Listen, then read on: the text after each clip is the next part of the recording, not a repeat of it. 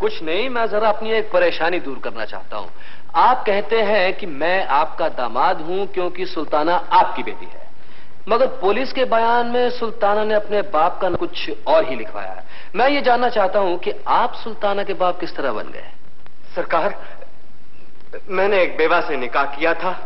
उसकी तीन सवा तीन महीने की बच्ची ये सुल्ताना थी।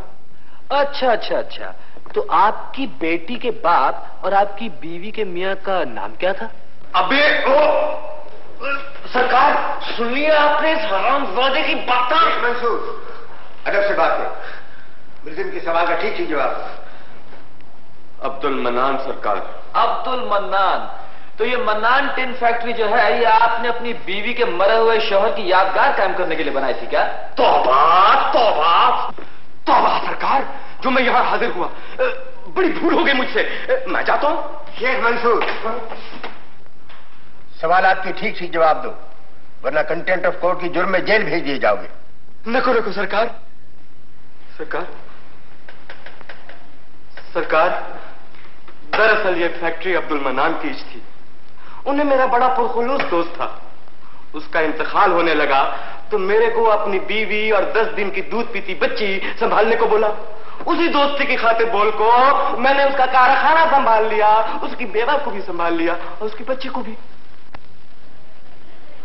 पुरखलूस दोस्ती के लिए आपने बीवी और बच्ची को संभाला या कारखाना हथियाने के लिए आपने बीवी और बच्ची को भी हथिया लिया इसका फैसला तो जज साहब करेंगे। आप मुझे यह बताइए कि आपने अभी भी जो कहा कि जब अब्दुल मन्नान मरे तो सुल्ताना की उम्र दस दिन की थी। हो। और जब आपने उसकी बेवा से शादी की तो सुल्ताना की उम्र सवा तीन महीने की थी। क्या ये ठीक कहा आपने? हो कहा तो क्या हुआ? क्या हुआ? हाँ हाँ क्या हुआ? बोल। हरामकारी की आपने बड़े मियाँ हरामकारी। को क्या और फॉल बोल रहा है बेईमान मलाउन शैतान। ठीक बोलता हूँ शेख मंसूर। इस्लामी कानून के मुताबिक एक बेवा अपने शौहर के मरने के चार महीने और दस दिन तक दूसरी शादी नहीं कर सकती। इस्लामी शर्रा में से इद्दत के दिन कहते हैं। लेकिन आपने इस डर से कहीं मन्नान टिन फैक्ट्री दूसरे के कब्जे में ना पहुँच जाए उस बेसहारा बेवा को फंसाकर सवा तीन महीने में निकाह पढ़वा लिया। तू झूठ बकता है बेईमान। मैं तो बकता हूँ लेकिन इस्लामी कानून फरमाता है कि आपकी शादी नाजायज है। वाह क्या पॉइंट लाया है। ओ, मैं तो खून पी जाऊँगा। मेरा खून तो पी जाइए, मगर असली बात तो कहिए कि अब्दुल मन्नान के कारखाने की वारिस उसकी बेटी सुल्ताना थी और आप किसी भी हालत में उस कारखाने को अपने हाथ से निकलने नहीं देना चाहते थे। इसीलिए आपने सलीमुद्दीन नाम के किसी बदमाश और लावारिस को अपने घर में डाला और ज़बरदस्ती इस बेचारी का ब्याह उससे करवा दिया। मगर वो आपका दामाद नहीं, आपका ससुर निकला बड़े मियाँ, जो आपका भी माल लेकर भाग गया।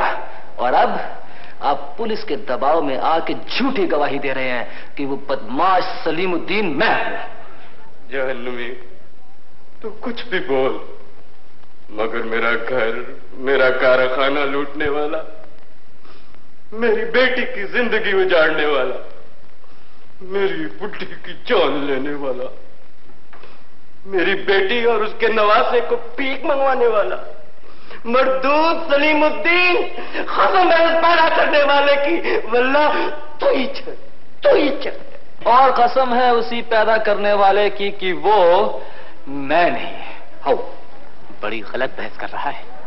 कम से कम दस साल के लिए अंदर जाएगा पागल कहीं का। अरे पागल नहीं साबित कर दिया कि पुलिस का गवाह को चोर और चोर की गवाही अब हालत में नहीं चलती बुढ़ा चोर चोर यही है।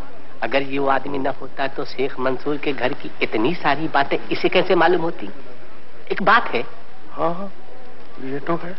यही वो है। सुनंदा तातार हाजिर हो। योर ऑनर ये है इनकी दूसरी बीवी मिसेस सुनंदा दातार। बहन जी नमस्कार।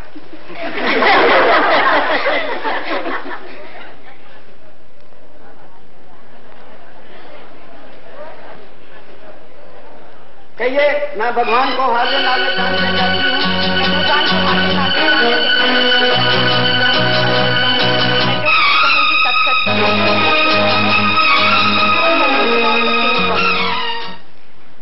मिसेस सुनंदा दातार आप मुलजिम को पहचानती हैं?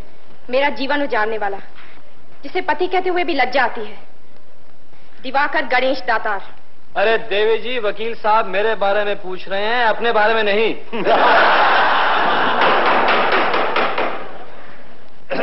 सुनंदा देवी, आपने अपने बयान में कहा कि मुलजिम ने बहुत बड़ा ढोंग रचा के आपसे ब्याह किया। क्या आप अदालत को यह बता सकती हैं अपनी जबानी के मुलजिम का वो ढोंग क्या था? हैप्पी मैरिज ब्यूरो की गंगुताई घोटाले के ज़रिए मेरे घर वालों ने स्त्री दर्पण पत्रिका में मेरी शादी का इश्तेहार दिया। इसने उसका जवाब दिया। मेरे घर वाले इसकी छानबीन करने मैरिज ब्यूरो के ऑफ़िस गए, क्योंकि इसने वहाँ आने का टाइम दिया था। Good evening everybody Diwakar Ganesh Data at your service welcome welcome mister Data I am Gangutai Ghotale how do you do इस हैप्पी मैरिज ब्यूरो के फाउंडर इंचार्ज आइए इनसे मिलिए ये है सुधीर दाते लड़की के भाई हाउ आर यू और ये है उनकी बहन ओह ब्यूटीफुल आप है मिस्टर अरविंद साने इनके mister how do you are a lucky man mister Sane thank you I am sorry आप लोगों को मेरा इंतज़ार करना पड़ा होगा आज बैंगलोर का प्लेन लेट हो गया एयरपोर्ट से सीधा बड़े भाई दाजी शास्त्री के चरण छूने गया। अब आपके चरणों में आ गया हूँ। आप कुल कितने भाई हैं? एक बड़े भाई हैं दाजी शास्त्री जो शास्त्रों के विद्वान हैं। यहाँ के राम मंदिर में अक्सर प्रवचन के लिए बुलाए जाते हैं। एक उनसे छोटे हैं। खैर छोड़िए। अब उनका नाम लेना बेकार है। क्यों? क्या किया था उन्होंने? वो एक लड़की के चक्कर में अपना हिंदू धर्म छोड़ के ईसाई हो गए।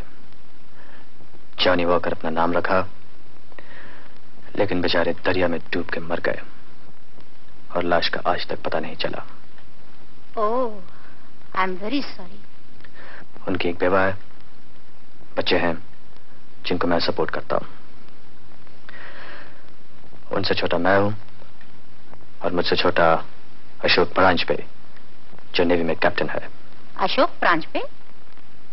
मगर आप तो दातार हैं ये आपसे छोटे प्रांज पे कैसे हुए? उसको बचपन में मेरे मामा ने गोद ले लिया था।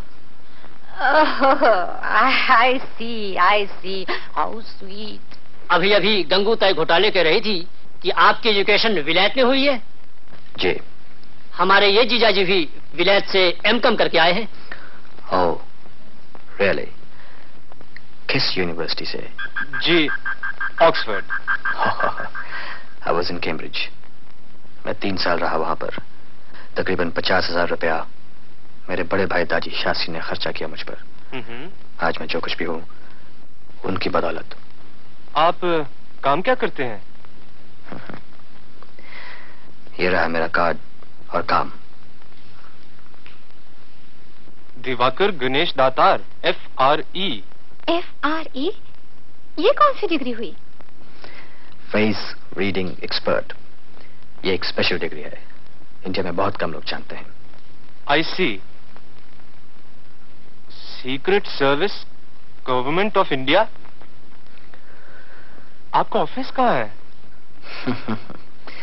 इट्स वेरी कॉन्फिडेंशियल यू समझिए जहाँ प्राइम मिनिस्टर वही मेरा ऑफ़िस मेरा ताल्लुक सिर्फ़ प्राइम मिनिस्टर से रहता है।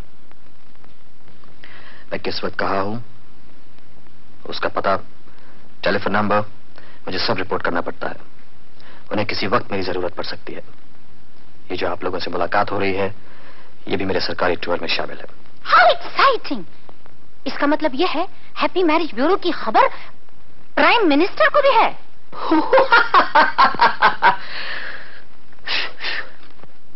बेशतर इसके कि आप कुछ और पूछें मैं खुद बता देता हूँ। मेरी तनख्वाह ग्यारह सौ रुपए है। लेकिन गवर्नमेंट सीक्रेट फंड के लाखों रुपए मेरे इख्तियार में है जिसका हिसाब मुझसे सिर्फ़ प्राइम मिनिस्टर ही मांग सकता है। मैं समझता हूँ आप समझ गए होंगे। आजी साहब ये कैसे नहीं समझेंगे? ये तो बड़े हाईली एजुकेटेड लोग हैं।